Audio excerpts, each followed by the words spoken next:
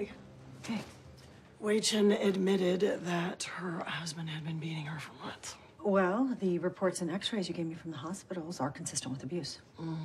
Um, Steve was a neighbor across the street. Helped her start getting treatment. They fell in love, decided to run away together. Robert came home early, and caught them packing the car. When he went after Steve, he slipped, hit his neck on the bumper. Well, it's my last case.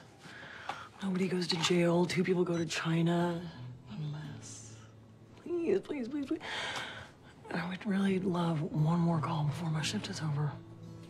You don't want it to end? No, I don't want to go to this party mom's throwing for us.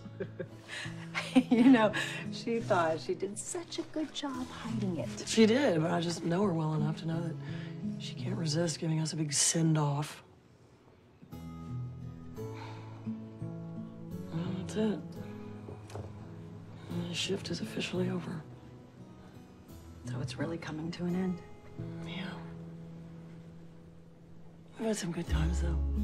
Look at that! Oh. So we can wash away the past so that we may start anew. Ooh, ooh. No, you find it so hard to imagine yourself living here?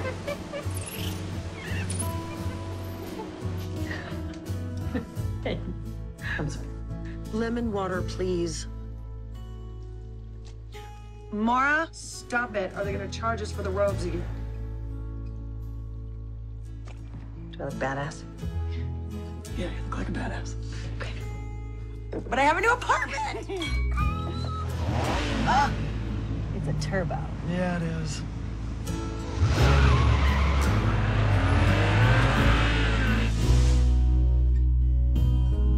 No. No crying. Come on. Our locations are changing. That's it. I know.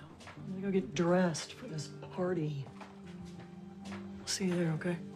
We're right behind you.